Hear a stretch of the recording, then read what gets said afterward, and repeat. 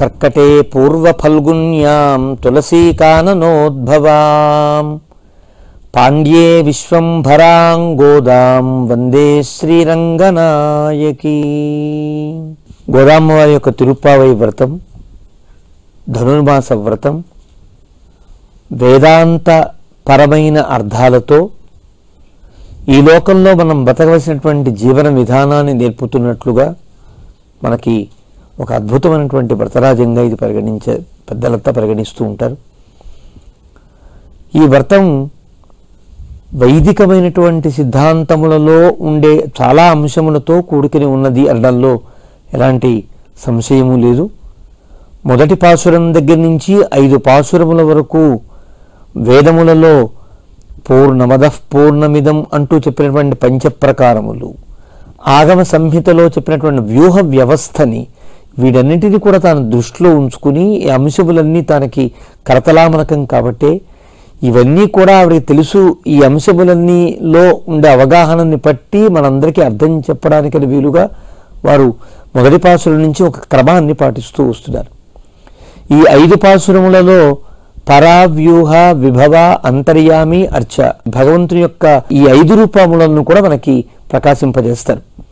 ఆ క్రమంలోనే మొదటి పాసురంలోనే మనకి ఈ దేశకాల సంకీర్తనం చేసి మార్గళి యొక్క గొప్పతనాన్ని ఈ మది నిరైంద నన్నాళాల్ అంటూ కాలం యొక్క గొప్పతనాన్ని కీర్తించిన తరువాత రెండవ పాసురం ద్వారా మనకి ఆ వ్రతానికి ఉండే నియమాలు చెప్పారు. నెయ్యుణ్ణోం పాలుణ్ణోం నాట్కాలే నీరాడి మే ఎట్టు జుదోం మన రెట్టు నాముడియోం చెయ్యాదన చెయ్యోం తీకొరలై చెన్నోధోం. ఇవన్నీ నిత్యము మనం పాటించవలసినవే కదా. మన కోసం మనం తింటే అది పాపాన్ని తిన్నట్టు అవుతుంది అని పరమాత్మ చెప్పాడు. ఏ త్వగం భుంజతే పాపాహ ఏ పచంతి ఆత్మకారణాతు.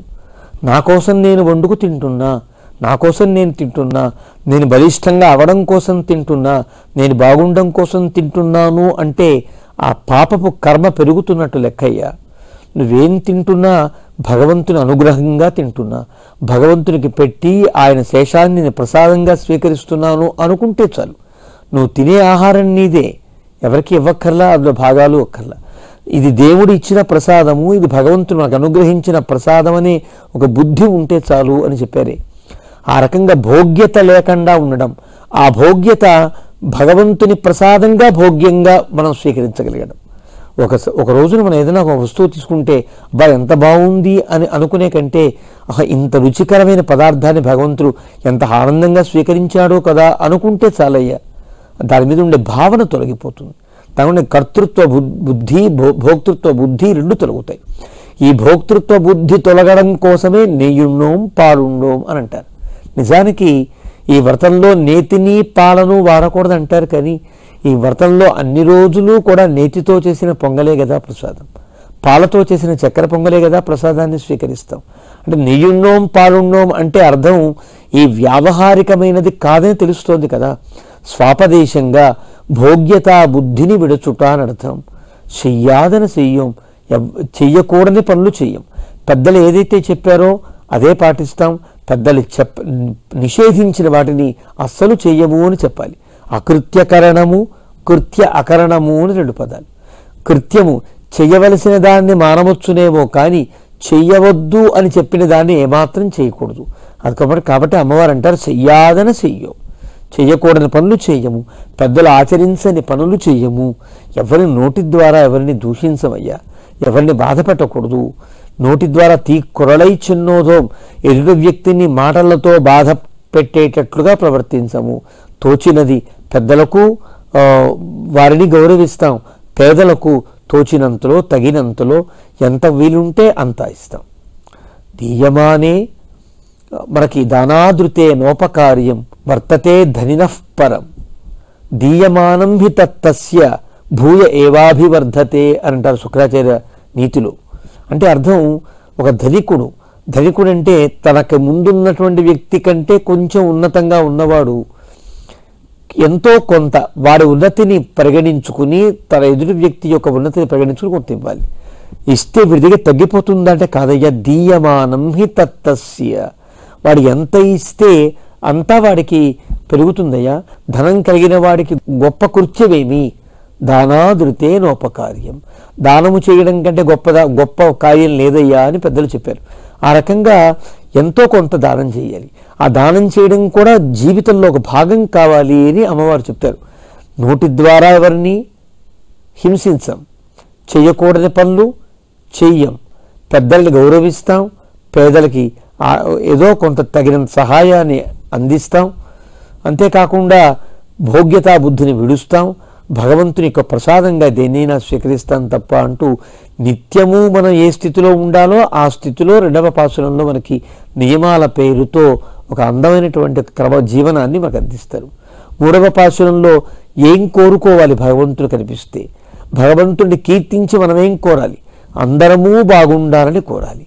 అందరికీ ఏది మేలు చేస్తోందో ఆ మేలు చేసే వ్యక్తులు బాగుండాలని కోరుకోవాలి. ఏవి?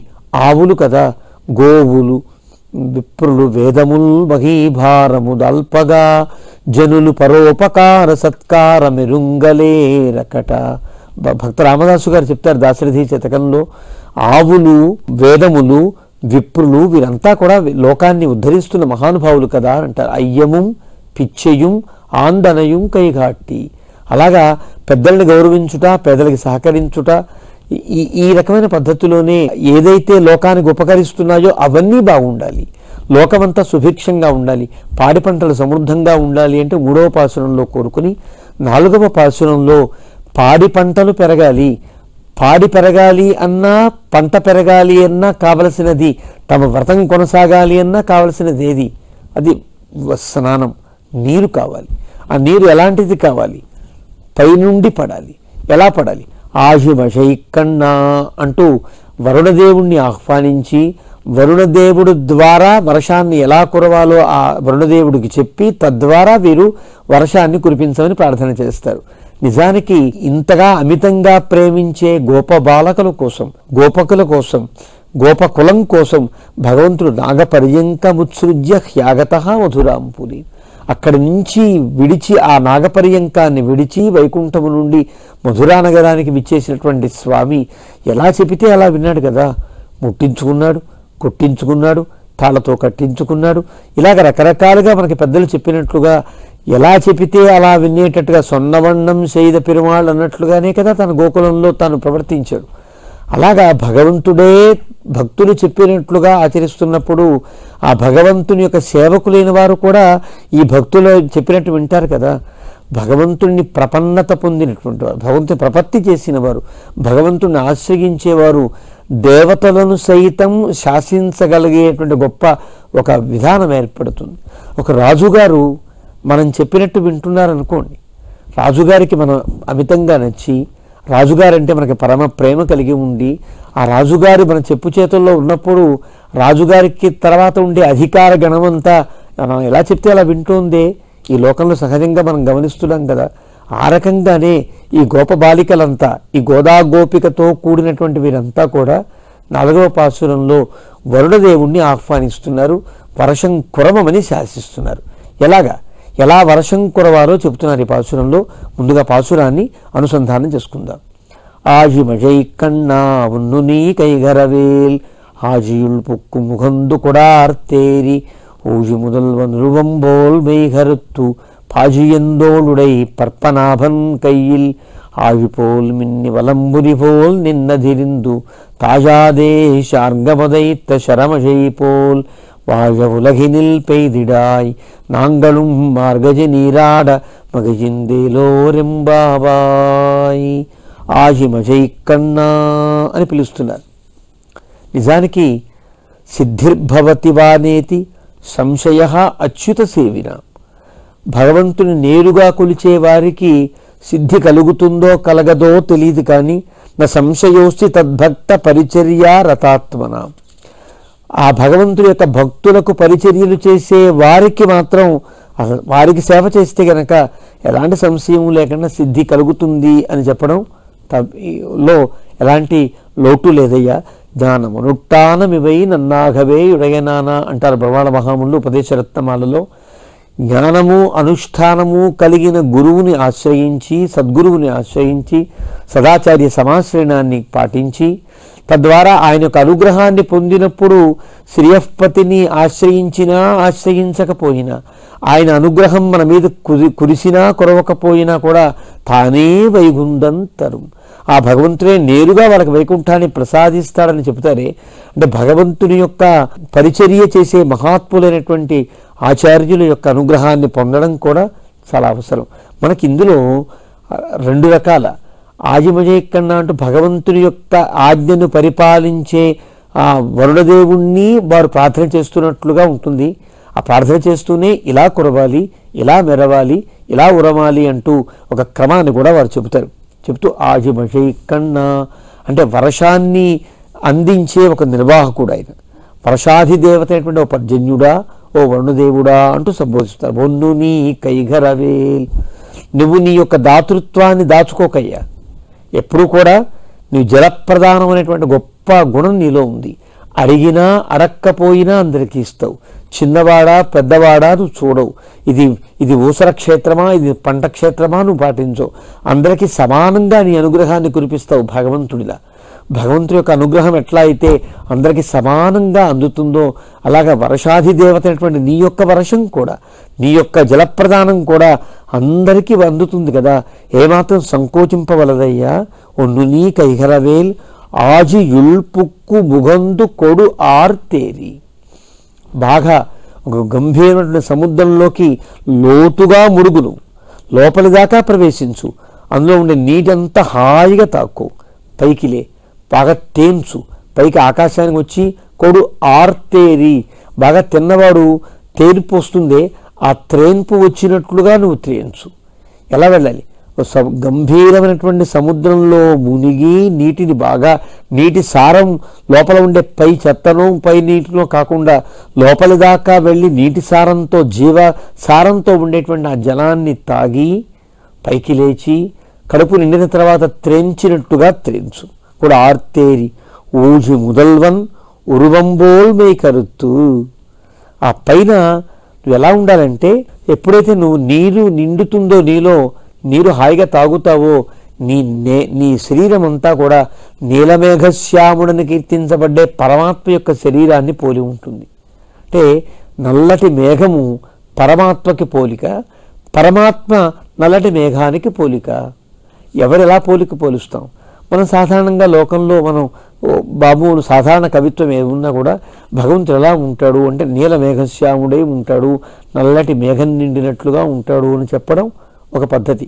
మనకు తెలిసిన ఉపమానం ఇది ఉపమేయం ఇది కాబట్టి ఉపమానాన్ని దృష్టిలో ఉంచుకుని ఉపమేయాన్ని మనం చెబుతూ ఉంటాం మనం. ఉపమేయాన్ని మనం అంద అర్థమయ్యేటట్టుగా చెప్పగలుగుతాం. కానీ ఇక్కడ గోదామ వారు నువ్వు భగవంతుడి యొక్క శరీరాన్ని పోలినట్లుగా నీ శరీరం కావాలి. అంటే మేఘం పట్టి మేఘాన్ని పోడినట్టు భగవంతుడి శరీరం అనేది సాధారణమైనటువంటి ఒక వర్ణన. అలా కాదట. భగవంతుడి యొక్క నీలిమ ఎలాగైతే ఉంటుందో అతని వారి యొక్క శరీర కాంతి అలాంటి కాంతిని నీవు పొందాలి. మీ కరుత్తు పాజియందోళుడై పర్పనాభన్ కయ్యి పాంచజన్యం ఉరిమినట్లుగా ఉరవాలి. ఎలాగా? ఒక చక్రము మెరిసినట్లుగా మెరిసి శంఖము ఉరిమినట్లుగా ఉరిమి వారి చేతిలో ఉండేటువంటి శార్ంగం అనేటువంటి ధనస్సు ద్వారా శరమజైపోల్ శర పరంపర సాగినట్లుగా వర్ష పరంపర మాకు సాగాలి. అంటూ ఈ పాసురంలో గోదమ్మవారు భగవంతుడి యొక్క ఆయుధములతో భగవంతుడి యొక్క శరీరముతో ఈ పర్జన్య దేవుడి యొక్క పోలికని వారు చెప్తున్నారు. ఓ పర్జన్య నీవు శుభ్రంగా నీరు తాగి ప్రజాపాతి సలిలాదాసా ముద్రాత్ ఆపాహీరయన్నుదధిమర్దయాతి ఇది వేదం చెప్పిన మాట.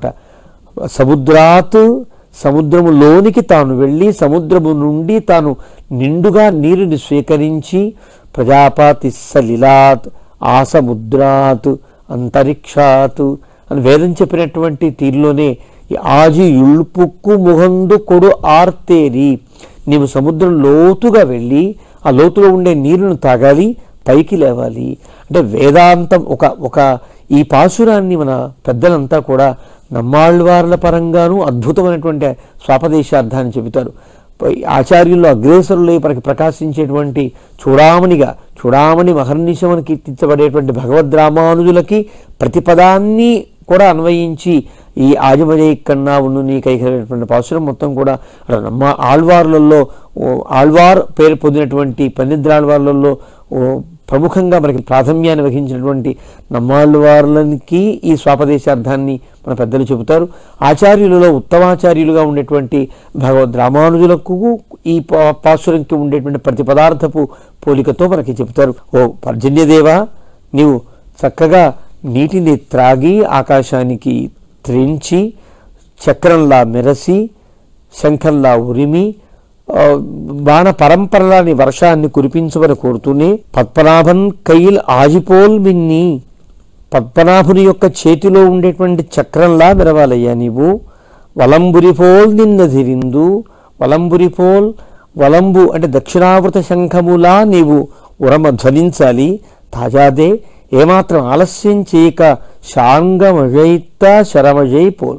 శార్ంగముజయిత్త ధనస్సు త్రోసినట్లుగా ఉండే బాణ పరంపరగా వర్షాన్ని కురవాలి. ఈ వర్షాన్ని కురిస్తే నాంగళం మార్గజి నీరాడ. మేమంతా మార్గడి స్నానాన్ని ఆచరిస్తాము. మహిజిందు సంతోషిస్తాం. ఎలాగా? ఇప్పుడు ఆరాధనలో ఏ గొ- ఏ ఆరాధన గొప్పది? అంటే భాగవత ఆరాధన కదా గొప్పది. ఆరాధనానాం సర్వేషాం విష్ణోహ ఆరాధనం పరం. ఎంతోమంది దేవతల్ని ఆవాహన ఆరాధన చేస్తూ ఉంటాం ఆవాహన చేసుకుని ఆరాధిస్తూ ఉంటాం కదా మనం. ఎంతమంది దేవతలు? ఆ దేవతల యొక్క రుచిని బట్టి వారి యోగ్యతని బట్టి వారి కర్మఫలాన్ని బట్టి ఒక్కొక్క దేవతను ఒక్కొక్కరు ఆశ్రయిస్తూ ఉంటారు. ఏపి అన్యదేవతా భక్తా యజంతే శ్రద్ధయా అన్వితా తేపి మామేవ కౌంతేయ యజంత్య విధిపూర్వకం తానే చెప్పాడే. అలాగే ఎన్ని రకములుగా ఎన్ని రూపములలో ఉండే భగవంతుణ్ణి ఏ ఏ దేవతలో అంతర్యామిగా ఉండే భగవంతుణ్ణి ఎంతమంది అయినా ఎన్ని రకాల ఆరాధనలు చేసినా కూడా నేరుగా చేసే విష్ణు ఆరాధన ఆరాధన అన్నింటిలో గొప్పది. ఆరాధనానాం సర్వేషాం. అందరిలో అంతర్యామిగా ఉండి అంతర్యామిగా గుర్తించి చేసే ఆరాధన ఒక క్రమం అయితే నేరుగా ఆ భగవంతుడికే చేసే ఆరాధన ఒకటి. అలా భగవంతుని కీర్తించడం అనేది ఒక పద్ధతి. అలా చేసేవాళ్ళు చాలామంది లోకంలో బహుదేవతారాధకులు ఉంటారు. అలా కాకుండా ఏకదేవత ఉపాసన చేస్తున్నట్లుగా ఉండేటువంటి ఉపాసన ఆరాధన ఏదైతే ఉన్నదో ఆరాధన చాలా గొప్పది. ఆరాధనానాం సర్వేషాం విష్ణోహో ఆరాధనం పరం. విష్ణుమూర్తి యొక్క పరతత్వమైనటువంటి పరమాత్మ యొక్క ఆరాధన చాలా గొప్పదయ్యా. తస్మాత్ పరతరం ప్రోక్తం. ఆ విష్ణు ఆరాధన కంటే చాలా గొప్ప ఆరాధన ఇంకొకటి ఉన్నది. ఏమా ఆరాధన? తదీయారాధన నృప. తదీయులంటే తత్ అనే భగవంతుడికి చెందినటువంటి పరమ భాగవతోత్వం ఎవరైతే ఉంటారో వారికి చేసే ఆరాధన ఇంకా గొప్పది కదా. ఓ వరుణదేవ నీవు చేసేటువంటి ఆరాధన భాగవతోత్తముల కోసం గనక ఈ రకమైనటువంటి నువ్వు నీ నీటిని గనక జలప్రదానం చేస్తే వారందరూ స- సంతోషిస్తారయ్యా మగిజిందు సంతోషిస్తారు. సంతోషించిన ద్వారా నాంగళం మార్గది నీరాడ మేము కూడా వేకువ జామునే లేచి హాయిగా స్నానాన్ని ఆచరించి ఈ వ్రతాన్ని ఆచరిస్తాము అని అంటారు. ఇందులో ఉండేటువంటి అంశములన్నీ కూడా మనం జాగ్రత్తగా పరిశీలిస్తే మేఘాన్ని ఒక ఆచార్యుడితో పోలుస్తారు. ఒక సద్గురువు మేఘం లాంటివాడు అవుతాడు. మేఘం ఎలాగైతే ఉప్పుగా ఉండే సముద్రం నుండి నీటిని సేకరించి తీయటి జీవ శక్తి నిండి ఉన్నటువంటి జలాన్ని ఎలాగైతే కురిపిస్తుందో. అలాగే ఆచార్యులు కూడా ఏం చేస్తారు? అనేక రకములైనటువంటి ఉపాసనలతో విధులతో నిషేధాలతో రకరకాల ఉపాఖ్యానములతో అర్ధభావములతో నిండి ఉన్న వేదం. ఆ వేదం అనేటువంటి సముద్రం. వేదము సముద్రంతో పోలుస్తారు కదా. అగాధము అమేయము అయి గంభీరము అయినది కాబట్టి వేదమును సముద్రంతో పోలుస్తారు. ఆ వేదము నుండి కూడా ఆ శృతి సాగరం నుండి మనకు అర్థం కాని మనం కనుక నీళ్ళలో దిగితే ఆ నీరు మనకు రుచించదు అందులో ఏమున్నాయో తెలియవు. చివరిదాకా వెళ్ళడం కష్టం లోతుకు మునగడం కష్టం. ఏ రకమైనటువంటి జల జంతువులు మనం మింగేస్తాయో తెలియదు అది శృతి సాగరము ఇది సాగరము. సాగరంలో రత్నములు ఉంటాయి యాదోరత్నైరి వారణవహ అని అంటారే. యాదస్సులైనటువంటి జల జంతువులు ఉంటాయి రత్నములు ఉంటాయి. రత్నం కోసం మనం గనక దిగితే ఏమో? యాదస్సు చేతిలో మనం నశించిపోతే జలజంతువుల చేతిలో పడిపోతే. కాబట్టి వేదములో మనకి దురవగాహములై ఉండి దేనిని అనుసరించాలో దేనిని అనుసరించరాదో కూడా తెలియనటువంటి ఒక స్థితి ఏర్పడుతుంది. అలాంటి వేదముల్లో ఉండేటువంటి వాటిని జాగ్రత్తగా పరిశీలించి ఇదిగో దీని తత్వం ఇది దీని అర్థం ఇది దీని రహస్యం ఇది దీని రస్యార్థం ఇది అంటూ ఆ వేదంలో ఉండేటువంటి ఆ తత్వాన్ని బాగా తాము ఆకలింప చేసుకుని ఆచినోతి శాస్త్రార్థాన్ అని చెప్పినట్లుగా తాము ఆకలింపు చేసుకుని మనకి అర్థమయ్యేటట్లుగా మన యొక్క ఆ, బుద్ధి వికసించేటట్లుగా మన హృదయం దాన్ని అర్థం చేసుకుని పాటించగలిగేటట్లుగా మనకి వారు అది జీవశక్తితో నిండినటువంటి జలంగా మనకు అందిస్తారు. అంతేకాకుండా ఆ మేఘము వీడికి చెప్పచ్చు వీడికి ఇవ్వచ్చునా నీటిని? వీడికి ఇవ్వకూడదా? వీడి దుర్మార్గుడు వీడి దగ్గర వర్షాన్ని కురవను మంచివాడి దగ్గర కురుస్తారు అనుకోదు మేఘం ఎప్పుడు కూడా సమానంగా కురుస్తుంది. అందులో మంచివాళ్ళు ఉంటారు చెడ్డవాళ్ళు ఉంటారు. మేఘానికి లక్ష్యం మంచివాళ్ళే లక్ష్యం. మంచివాళ్ళకి కోసం కురిసిన ఆ నీరు చెడ్డవాళ్ళకి ఉపకరిస్తుంది. అది వేరే అంశం. అంటే చెడ్డ మంచి తను నావాడు తన పరాయివాడు తన రా వచ్చినవాడు తను కానివాడు అనేటువంటి చూడకుండా అందరికీ సమానంగా మేఘం ఎట్లా అయితే ఇస్తుందో గురువు కూడా శిష్యులందరికీ అలాగే ఒక ఉపదేశాన్ని చేస్తాడు. ఇది రహస్యమైనటువంటి అర్థము అని అంటారు. అందులో అర్థం చేసుకున్న వాళ్ళు ఉంటారు. అర్థం కాని వాళ్ళు ఉంటారు. ఇలాగా వాళ్ళలో ఉండే తారతమ్యము ఉంటుంది. తారతమ్యం ఉన్న గురువు ఎప్పుడు కూడా సమానంగానే బోధిస్తాడే. అలాగా గురువుకి మేఘానికి ఉండే పోలిక మనకి ఇందులో గమనిస్తే గనక ఆళ్వార్ అని కీర్తించబడే నమ్మాళ్వార్లకి ఈ పాశురానికి ఉండేటువంటి సంబంధం మనకు కనిపిస్తుంది.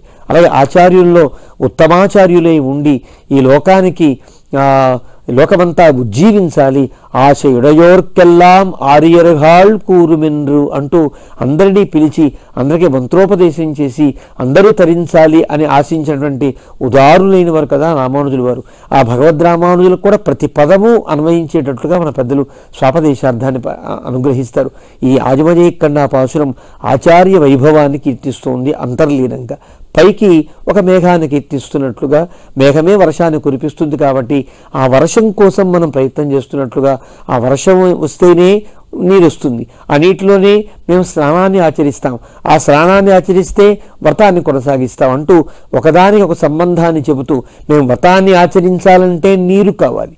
నీరు కావాలంటే వర్షం కురవాలి. ఆ వర్షం కురవాలి అంటే ఆ ఆజమ కన్నా ఉన్ను నీ కైగరవేది ఓ వర్షాన్ని కురిపించే వరుణదేవుడా నీవు అంతర్యామి భగవంతునిలో అంతర్యామిగా భగవంతుడు నీలో ఉన్నాడయ్యా. నీవు భగవంతుడు నాలో అంతర్యామిగా ఉన్నాడని నీవు గుర్తించుకుని ఆ భగవంతుని యొక్క శరీరంలా మెరి శరీరంలా నల్లటి శరీరాన్ని ధరించి నీటి సమృద్ధితో మాకు పాంచజన్యంలా శంఖంలా ఆ శారంగంలా పంచాయుధ సమన్వయంగా మాకు మంచి నీటిని ప్రసాదిస్తే మేము వ్రతాన్ని కొనసాగిస్తాము. ఆ వ్రతం ద్వారా ఏం కలుగుతుంది? నాంగళం మార్గజి నీరాడ ఈ మార్గలి స్నానాన్ని ఆచరిస్తాం. అంటే వీళ్ళు చేసే స్నానానికి ఒక చెరువు సరిపోయినప్పటికి కూడా కాదని ఆ పైనుండి ఆచార్య సదుపదేశం ద్వారా పొందిన భగవజ్ఞానము తద్వారా కలిగిన భగవద్గుణానుభవమే అసలైన స్నానము అంటూ మనకి పెద్దలు ఆ ఆ గోదామ వారు పెద్దలు చెప్పిన అంశాన్ని మనకు అర్థమయ్యేటట్లుగా చెబుతూ ఈ పాసురం ద్వారా ఆచార్య వైభవాన్ని పర్జన్య ప్రాభవాన్ని భగవంతుడి యొక్క అంతర్యామిత్వాన్ని చెప్పారు. ఇందులో విభవావతారం తర్వాత అంతర్యామిగా భగవంతుడు ఉన్నాడనేటువంటి అంశాన్ని అమ్మవారు ఇందులో చాలా అందంగా మనకి అర్థమయ్యే రీతిలో వ్రతానుగుణమైనటువంటి పద్ధతిలో మనకి అందించారు. ఆ అందించినటువంటి తల్లికి నమస్సులు అర్పిస్తూ మధుషా కించన త్రాణ బద్ధకంకణ పాణయే విష్ణుచిత్త తనూజాయే గోదాయే నిత్యమంగళ.